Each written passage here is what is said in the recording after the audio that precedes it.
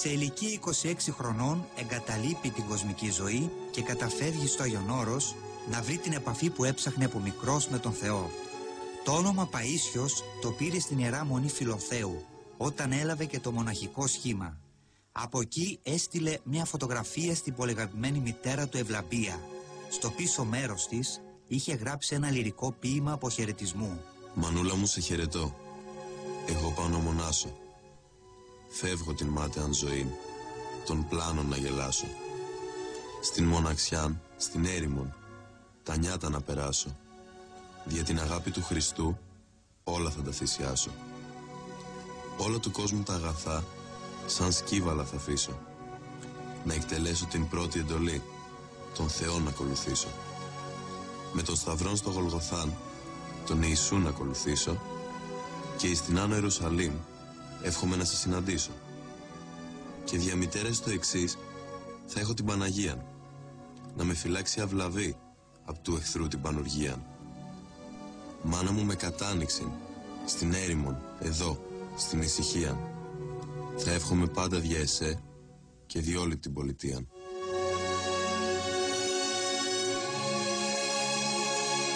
Είχε βαθύτατη αγάπη, όπως σας είπα, για όλη την κτήση και ιδιαίτερα για τον άνθρωπο, αλλά το χαρακτηριστικό της αγάπης του ήταν ότι ήταν έμπονη αυτή η αγάπη.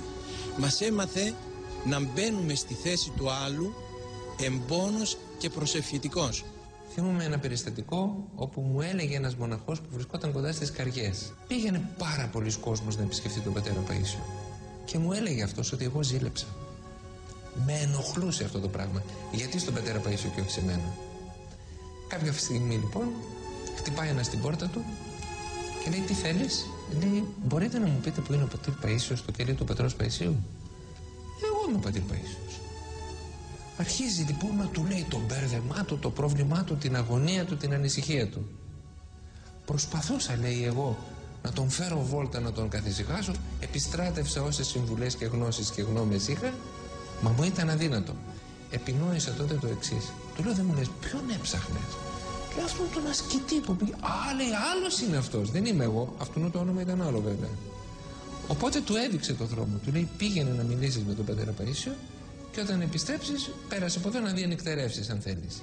Ήμουνα περίεργος δηλαδή να δω τι θα γινόταν. Σε λιγότερο από τρία τέταρτα επέστρεψε ο άνθρωπος, άλλος άνθρωπος.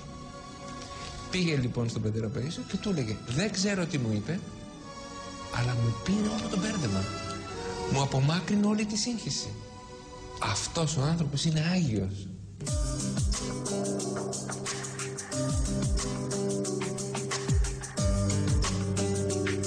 Σε μια ερημική τοποθεσία με μοναδική συντροφιά το απέραντο πράσινο και το κελάιδεμα των πουλιών βρίσκεται ακόμα το κελί του γέροντα.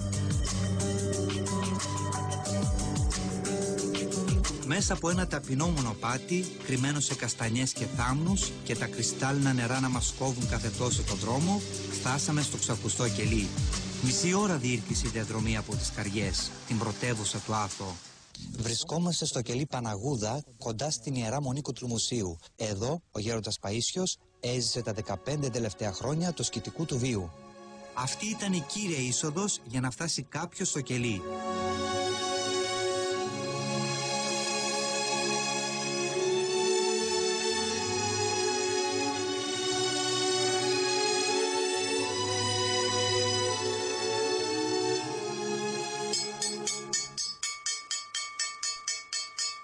Τα κούτσουρα που βλέπετε αποτελούσαν το υπαίθριο αρχονταρίκι του γέροντα Παϊσίου. Εδώ δεχόταν τους προσκυνητές και συνομιλούσαν για διάφορα πνευματικά θέματα.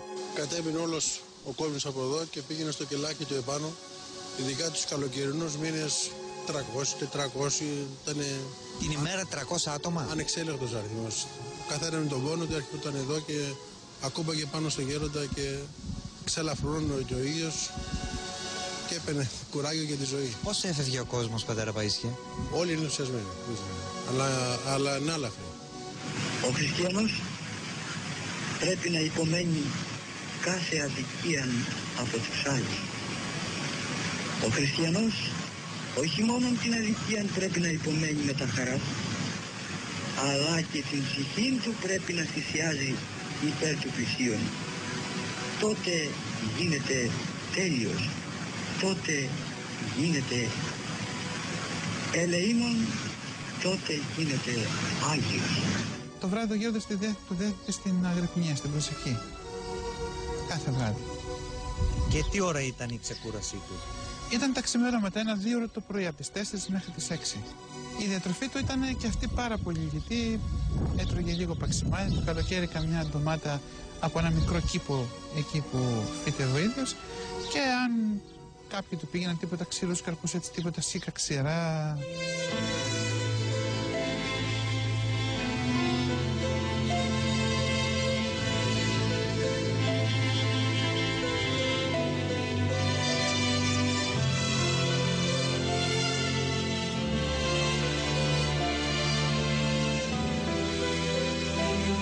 ήταν ο άνθρωπος ο οποίος είχε γνωρίσει πολύ καλά και βαθιά τον εαυτό του. Ένας άρχοντας πνευματικός και είχε μια πνευματική παλικαριά, μια πνευματική λεβεντιά. Δεν σου άφηνε περιθώρια να σκεφτείς ότι είναι ένας άνθρωπος από τον οποίο πρέπει να κρατήσεις απόσταση.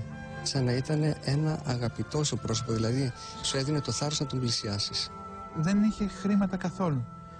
Δεν έπαιρνε χρήματα καθόλου και μάλιστα επειδή τον γνώριζαν χιλιάδες κόσμος και κάποιοι έστελναν επιταγές στο ταχυδρομείο, είχε δώσει ο ίδιος εντολή στο ταχυδρομείο των Καρεών όποια επιταγή έρχεται να γίνεται απαράδεκτη και να επιστρέφεται πίσω σε αυτόν που την έχει στείλει.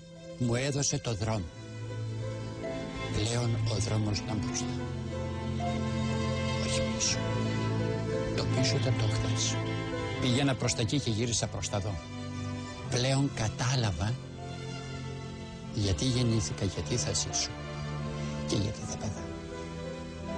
Μιλούσε κάποτε με κάποιους και ένας εξ αυτών έλεγε ότι δεν υπάρχει Θεός Γέροντα αφού δεν τον βλέπουμε, δεν τον ξέρουμε δεν έχει εμφανιστεί σε κανέναν από εμάς, δεν ήρθε κανένας από την άλλη ζωή εκείνη την ώρα περνούσε μια σάβρα και γυρνάει ο Γέροντας και της λέει υπάρχει Θεός γυρνάει η σάβρα και βγάζει τη γλώσσα της τρει-τέσσερι φορές έξω, κοιτώντας προς το γέροντα και προς τον ουρανό. Και γυρνάει και του ακόμα και η Σάβρα λέει. Ορίστε. Μιλάει λέει, και λέει. Επιβεβαιώνει. Τα επιβεβαιώνει. Αυτό λοιπόν διεδόθηκε έξω και ερχόντουσαν πάρα πολύ στη συνέχεια μέσα και τους λέγανε Γέροντα, πού είναι το φίδι και η Σάβρα που μιλάει; Οπότε μια μέρα που πήγα εγώ για να τον δω, είχε αναρτήσει μια πινακίδα έξω από το κελί του που έγραφε Ο ζωολογικός κήπος είναι κλειστός και η μαϊμού απουσιάζει.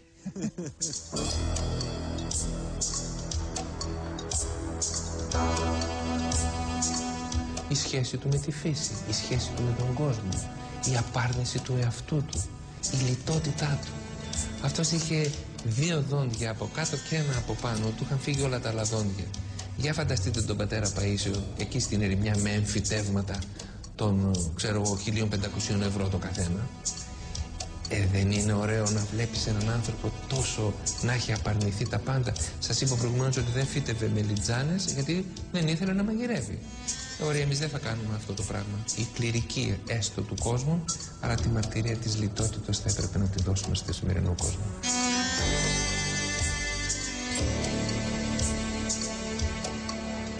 Ο γέροντας Παΐσιος κοιμήθηκε την 3η 12 Ιουλίου του 1994 σε ηλικία 70 ετών. Όπως είχε ζητήσει ο ίδιος, τελευταία κατοικία του έγινε το γυναικείο ησυχαστήριο του Αγίου Ιωάννου του Θεολόγου στη Σορωτή, έξω από τη Θεσσαλονίκη.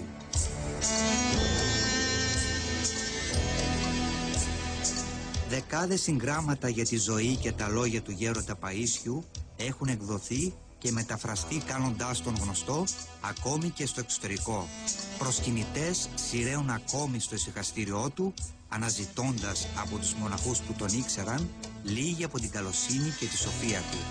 Παράγοντες της Εκκλησίας έχουν προτείνει εδώ και χρόνια να ξεκινήσουν οι διαδικασίες για να συμπεριληφθεί ο γέροντας Παΐσιος στο επίσημο αγιολόγιο. Εκείνοι που τον είχαν γνωρίσει